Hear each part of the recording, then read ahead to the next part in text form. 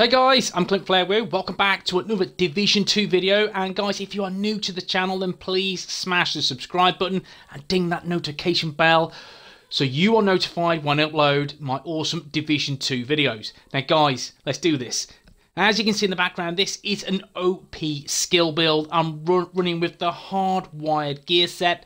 When I initially ran this, and I crafted all the pieces and put it together. I was running about 2k skill power I did not see the benefit from rolling with this gear set. I felt it was really underwhelming, but there was that potential to make it absolutely OP if I could invest in 3k skill power and do some damage with my skills. And boy, I have. This build is sensational. It is definitely worth the grind. And then all you need to do is re-roll your pieces to get as much skill power on this build as possible, as we will see shortly when I break it down for you guys. But as you can see, this will shock enemies, this will deal some great damage, and is a great utility build. Don't get me wrong, the BTSU gloves, they will offer raw damage, raw power, raw healing. This is all about a great utility set that will give you your skills back quickly, and you can see the damage is decent. It's decent damage we're doing.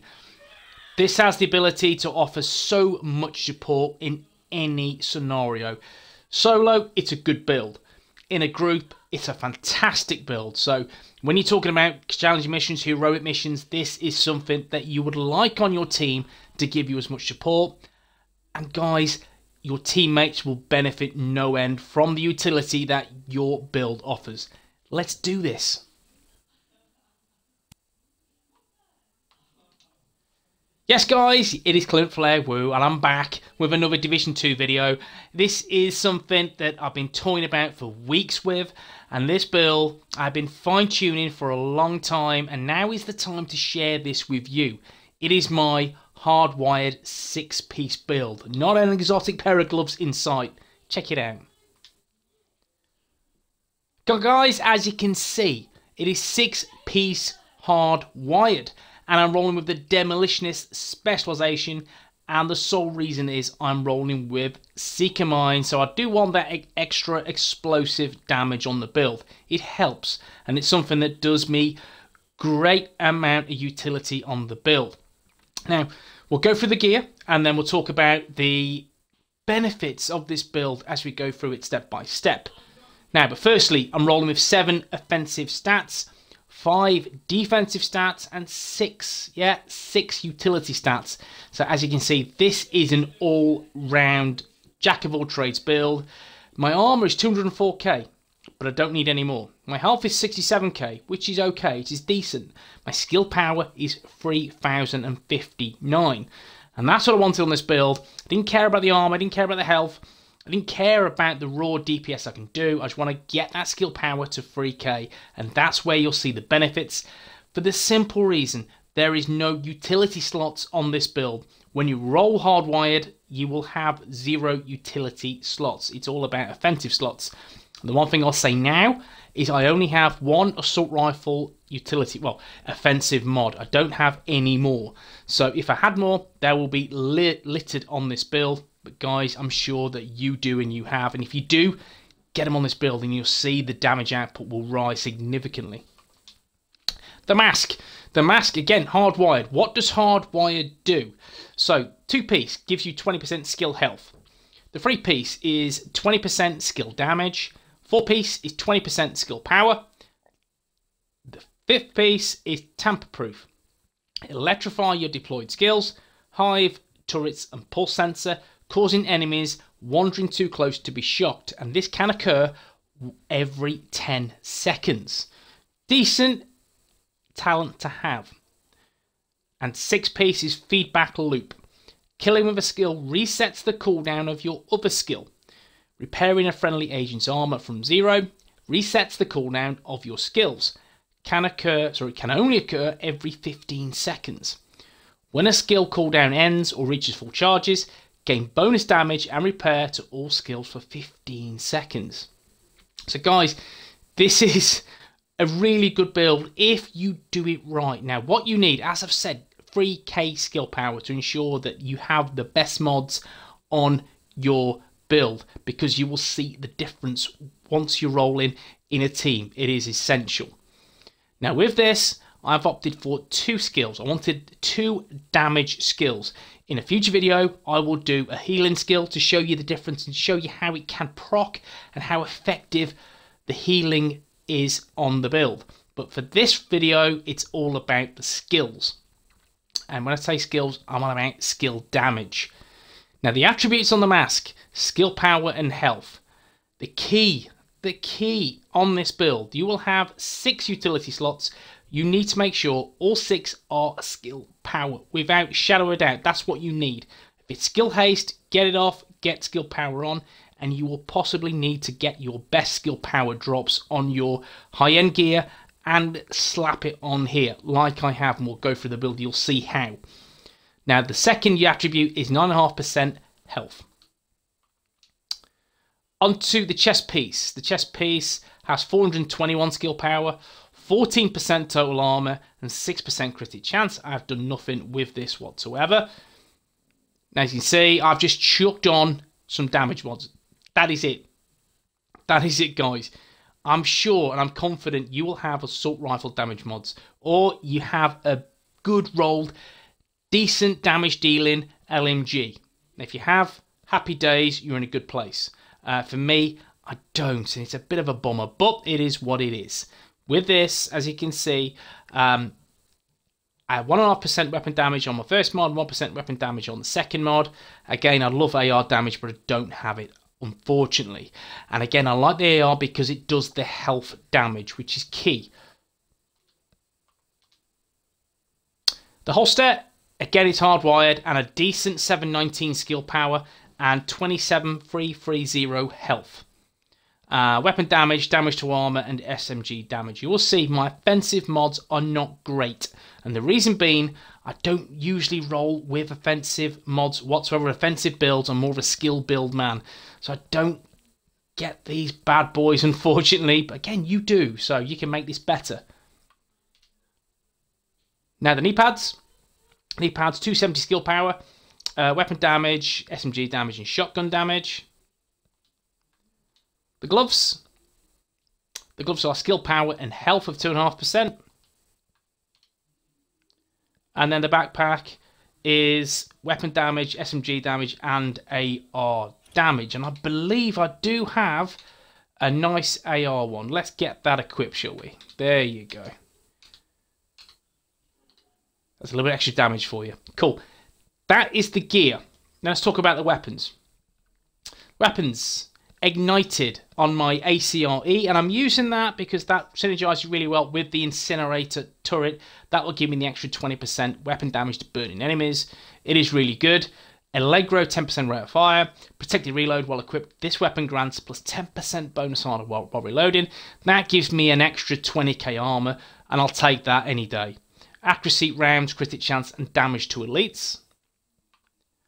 My secondary is my G36, that's Perpetuation, Allegro, and Rooted. Rooted will be active every 60 seconds. Uh, while equipped and in cover, all skill damage and healing is increased by 25% for 10 seconds. Your buff is lost when exiting cover can only occur once every 60 seconds. Accuracy rounds, critical chance, damage released. Again, the mods are mimicked per AR. And finally, my 93R is Perpetuation accurate and in rhythm. While equipped, enemy kills have a 5% chance to refresh active skill cooldowns, can occur once every 60 seconds. Mods, optimal range and critic chance. As you can see, the weapons are not perfect. Now, they've got the right talents on, the talents that I need and I want on this build. So, for example, my 93R, it's got in rhythm. So that 5% chance, and I get my skills pack instantly. Now, with hardwired, again every 15 seconds, that will happen anyway. So it's just that chance of getting them skills back even quicker. Rooted, you need rooted. That is a definite one you need on the build. And particularly reload just gives you a little bit more survivability in challenging and heroic missions. Now you could have recharge. That's something that you can have in this build, but however, I've gone for reload because I like that bit of survivability. So I'm a little bit squishy. Now the skills. Now, with the skills and with hardwired is essential, in my opinion, to roll or to make sure you take advantage of the five, and the six piece talents. The five piece, obviously, the hive, the turrets, and the pulse sensor will get your enemies to be shocked. And that's a good talent, and I like it, and it does work. Um, and again, it gives you that immense amount of crowd control for you and your team to take out NPCs with ease. Now, you can roll wherever you want, whatever you want, and I will do variations in a future video. However, I've opted for the incinerator turret uh, just to make sure it draws the enemies in. They get shocked, my teammates take them down like knife through butter. It's as simple as that. It's really strong. Now, Incinerator turret, a lot of people don't use this, they don't like it, simply because it is a little bit awkward, a little bit haphazard, in all fairness, and in terms of the um, damage. It is great. It's got that cone shape, which isn't as great as old school Division 1, where, where Firecrest was absolutely OP. But this is a good alternative, and again, I will show you the assault turret in a future video. Now, the, the actual skill power mods, you can see they are OP. Burn strength, you need that. Skill haste, 94.3%, and damage, 144.6%. These are really good mods. Someone will say, or someone looking at this video will go, your cooldown is shit, your cooldown is no good, you uh, this is a crap build. Guys, hardwired, do not focus on skill haste. If you do, you are doing it wrong. You need to focus on skill power to get your skill power at 3k to unlock the relevant mods that you need. So don't worry. Do not worry about skill haste. Now, again, we'll go through the, the six piece talent, which is killing with a skill, resets the cooldown your other skill. There you go. You don't need skill haste on this build. Don't worry about it because the six piece will do that for you. So Incinerator, you can see 21 811 burn damage. That's nice. That's really good. Uh, burn duration of 7.8 seconds. Now, my primary skill is the cluster seeker mine. Now, this is 13.8 second cooldown, 304k damage. Again, someone will say it will happen. I can get 500. You maybe you can, sir. That's not a problem. However, this is hardwired and there's no explosive damage on this build at all. So, 304k damage, which is good given the build. 10 mines, blast radius of 4 meters. Skill haste, damage, and extra mines because they make all the difference. The key is you want to get your skills or your seeker mines back quicker. So this is like having skilled on a backpack. Now, the more seeker mines that you have, the more chance you've got taking an NPC down. With 10 mines, the way you look at it, again, as a base damage of 304k, you can deal some great damage over time. Seriously, it does work extra mines, they help NPC down, you will get that skill back. It, it works a treat. And then you have your incinerator mod, uh, which will be there. That will just churn away NPCs. Now, you could use your assault turret, which will go in again in a future video, but I wanted to use incinerator turret because not many people use it. And I'm showcasing it now, and it is great on this build. So this is awesome. Now let's go through, we've gone for the weapons and the gear and the skills. Let's take a look at the stats. Again, nothing to write home about, but the build synergizes like a T. Percent crit chance, 28% crit damage, 55% headshot damage. As you, as you can see, there's nothing to write home about at all. You see the weapon damage is quite low, however, better better. Defense as standard, 204k armor. 67k health, 20% burn resistance, and that's due to the fact I'm rolling with Demolitionist. And again, for that extra explosive damage of 25%. And as you can see, there's no bonuses on my skills. That's because there are no skill utility mods here at all. That's hardwired. That's how it works. So this is the build. This is hardwired. What do you think, guys? Is it something that you feel you can run with? It's a grind to get. Is it worth it? I did a 2K hardwired video, and all fairness, underwhelming, underpowered, didn't enjoy it. 3K skill power hardwired, it's absolutely amazing. It's really, really good. And you are the perfect utility player on your side.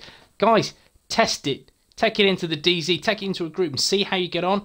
Uh, but for PvE, this is beastly, it really is. Is it better than the BTSU gloves? Possibly not, but as a great, great alternative, you are laughing with this build. Hardwired, big thumbs up from me. And if you enjoyed the video, drop a like. That's awesome. And if you want to, you want to see more Division 2 content, even more Vigor content, remember from the Ashes, anything you want to see, guys, let me know. Sub to the channel. Guys, take it easy and peace.